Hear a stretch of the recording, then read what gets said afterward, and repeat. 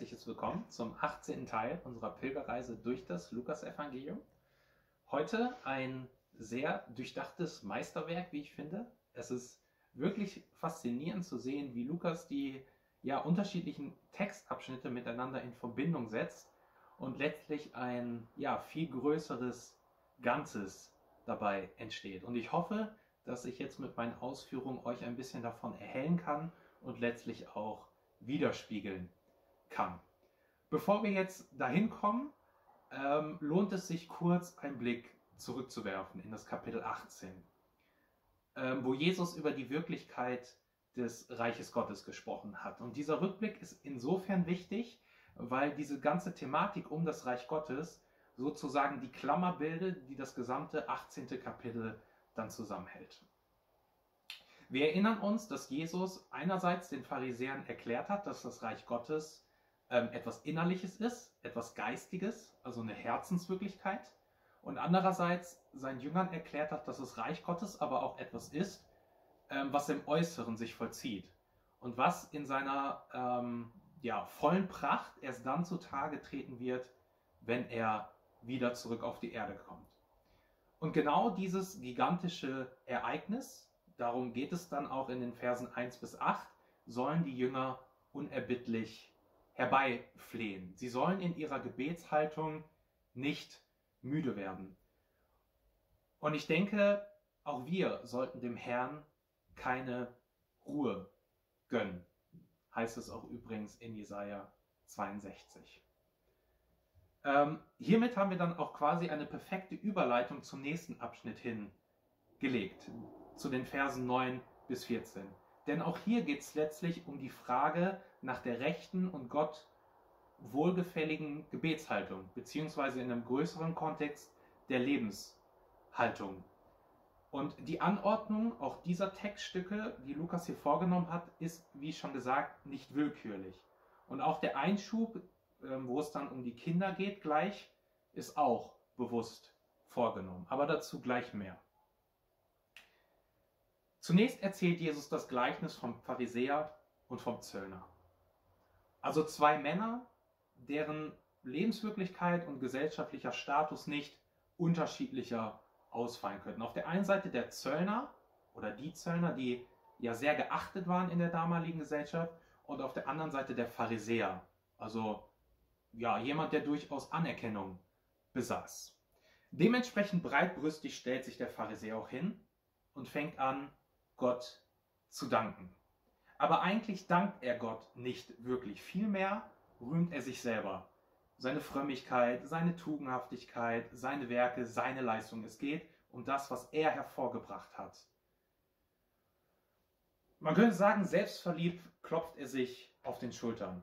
Ja, und indem er sich vor allem bewusst und verachtungsvoll von den Sündern abgrenzt, macht er sich nochmal über jeden Zweifel erhaben.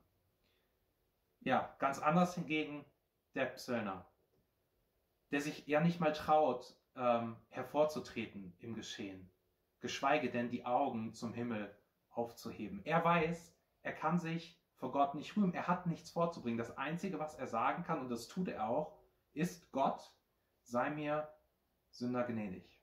Und das ist übrigens sehr interessant, denn der Psöllner bittet hier nicht um Vergebung einer konkreten Sünde, sondern er bittet um Vergebung ähm, für sein sündhaftiges Dasein. Er benennt keine Sünde im, im, im Sinne einer Tat, sondern er bekennt sich als den Sünder. In anderen Worten, er verleugnet sich selber. Etwas, was den Pharisäer in seinem, ja, man kann sagen, Hochmut nicht im entferntesten eingefallen wäre.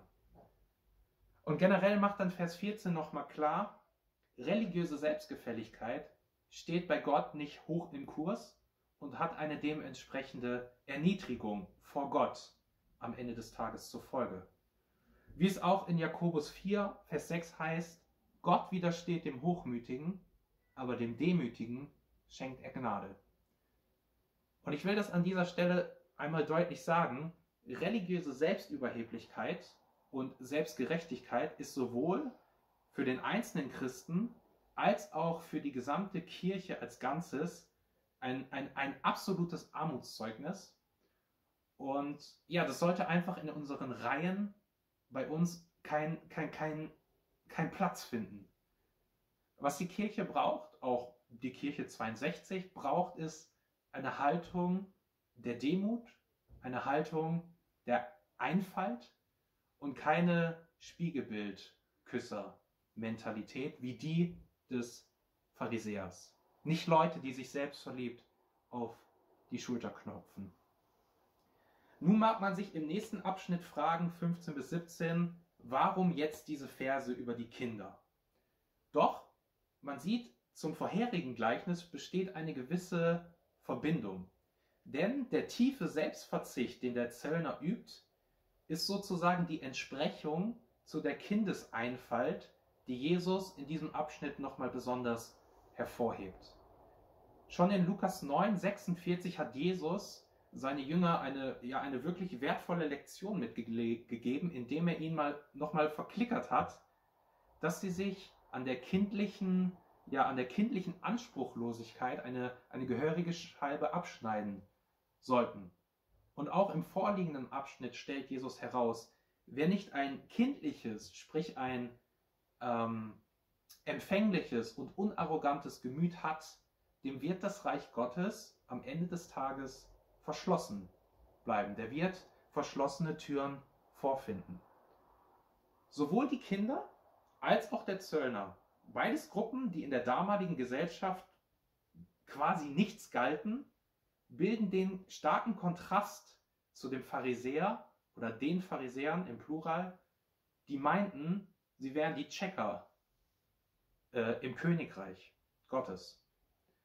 Und dass Lukas gerade anhand dieser beiden Gruppen nochmal herausstellt, wie eine wahre und ähm, ja, wie eine wahre Beziehung zu Gott aussieht, wie die Haltung ist, verdeutlicht nochmal, dass Gottes Herzschlag für all jene Personen schlägt, die am unteren Ende der sozialen ja, Rangliste stehen. Dann folgt in Versen 18 bis 30 die Story mit dem reichen Mann, der letztlich nicht bereit ist, diesen einen Schritt noch zu tun, um das ewige Leben zu ergreifen. Also es geht auch hier wieder um das Reich Gottes. Und da ich bereits ähm, in meinem Video zu Lukas Kapitel 12 schon auf diese Thematik von Armut und Reichtum eingegangen bin, möchte ich das hier außen vor lassen. Ähm, es ist mir wichtig, an dieser Stelle darauf hinzuweisen, dass Jesus mit dem Vers 19 nicht sagt, dass er nicht Gott sei. Diese Stelle ähm, wird gerade von Muslimen immer wieder hervorgeholt als vermeintlichen Beweis dafür, um Jesus, Jesus auf eine Stufe mit einem normalen ähm, Propheten zu stellen und ihm seine Göttlichkeit abzusprechen. Ich glaube, Jesus weist die Worte dieses, dieses Mannes deshalb zurück, weil sie auf ihn als menschlichen Rabbi, als menschlichen Lehrer abzielen. Anders als der Blinde am Ende des Kapitels, den Jesus übrigens nicht korrigiert, sieht der Mann hier Jesus lediglich als, ein, ein, als eine Lehrperson und nicht als den verheißenen Messias, als den Sohn Gottes.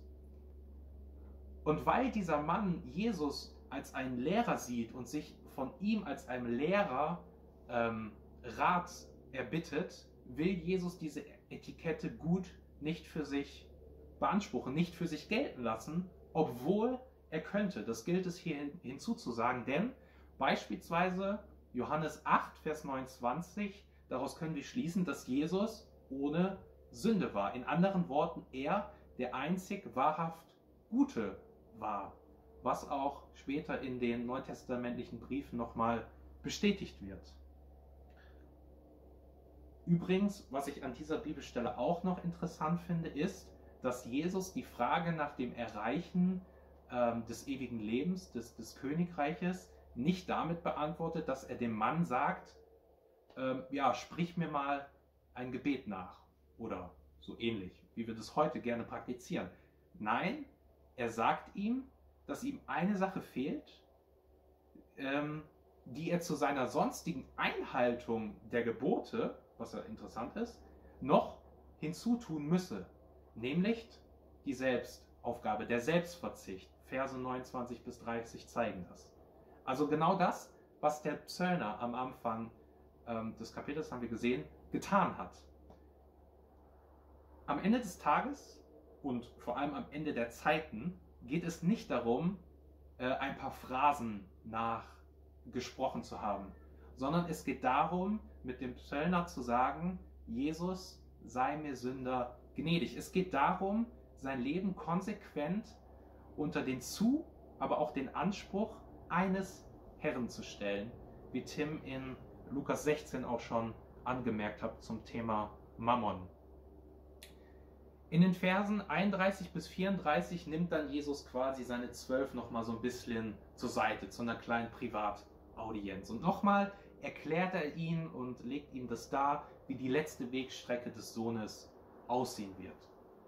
Und interessant ist in Vers 34, dass es heißt, dass ihnen der Sinn dieser Worte verborgen und verschlossen blieb.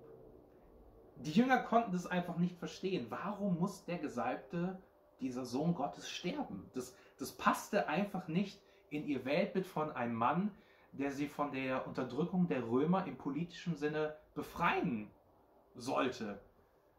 Erst später in Apostelgeschichte dann, wenn sie als, als der Heilige Geist dann auf sie gekommen ist, können sie, können sie diese Notwendigkeit des Christusgeschehen verstehen und Jesus dann voller Glauben als den verkündigen, ja, der, der gelitten hat und der gekreuzigt wurde. Und für mich persönlich und vielleicht auch für dich steckt in diesem letzten Vers 34 so die Lektion drin, ähm, dass es Dinge gibt, die aus einem jetzigen Standpunkt heraus total sinnlos erscheinen, aber von einem späteren Standpunkt aus betrachtet auf einmal vollkommen Sinn ergeben. Und dass es auch im Wort Gottes, zumindest geht es mir so, wenn ich ehrlich bin, immer wieder Dinge gibt, die, die ich nicht verstehe, ähm, die mich verwirren, die mich entsetzen, die, die mir auch durchaus rätselhaft erscheinen und auch oft bleiben. Ähm, aber ich meine mittlerweile gelernt zu haben, dass das am Ende dem Heiligen Geist zu überlassen, wann er mir welchen Sinn der Schrift erschließt und auf welchem Weg. Und ich glaube, Offenbarung, Gottes Offenbarung kommt immer dann, wenn wir sie benötigen, wenn es Zeit ist. Und alles andere darf auch ruhig mal warten. Das Wort Gottes muss nicht zu 100% verstanden werden, damit es in die Tat umgesetzt werden kann. Und darum geht es letztlich, dass wir Täter des Wortes werden und nicht lediglich Hörer. Die Verse 35 bis 43 runden unser Kapitel und dieses Video dann auch gleich ab. Und hier möchte ich unsere Aufmerksamkeit lediglich noch auf einen Punkt lenken, und zwar auf diesen doppelten Bittruf, den der Blinde aus sich herausbringt. Jesus, Sohn David, erbarme dich meiner. Und auch hier am Ende des Kapitels haben wir sozusagen wieder eine sachliche Nähe äh, zu dem Gebet des Zöllners. Denn auch er appellierte letztlich an, die, an, an, an das Erbarmen und an die Güte Gottes. Grundsätzlich ist das, was der Blinde hier macht, absolut sozialverträglich und nichts, nicht irgendwas Komisches. Denn für die damalige Zeit war es typisch, dass man genau in diesem Stil ähm, Herrschaftspersönlichkeiten, aber auch Autoritäten ähm, ja, ange, angerufen hat. Und indem der Blinde das jetzt aber an Jesus richtet, erkennt er seine Salbung und seine Vollmacht an. Er erkennt ihn als denjenigen an, als, als den verheißenen Messias ähm, und als denjenigen, den der Thron Davids gebührt. Und dieser Messias-Glaube ist es dann auch, von dem Jesus dann in Vers 42 sagt, dieser Glaube hat dich gerettet. Oder in anderen Worten, dieser Glaube hat dich geheilt. Und am Ende bleibt vielleicht die Erkenntnis stehen, es ist nicht, es ist nicht irgendein Glaube, der das ewige Leben bringt. Es ist, es ist der Glaube an den, an, den, an den Sohn Jesus Christus als den verheißenen König und als den Retter und auch Richter dieser Welt. Ja, möge Gott diesen Glauben in uns mehren und uns immer mehr äh, in eine wohlgefällige ähm, Gesinnung führen. Möge er unser Herz demütigen, wie das der Witwe, und uns auch kind, kindliche Einfalt lehren. In diesem Sinne, Gott befohlen.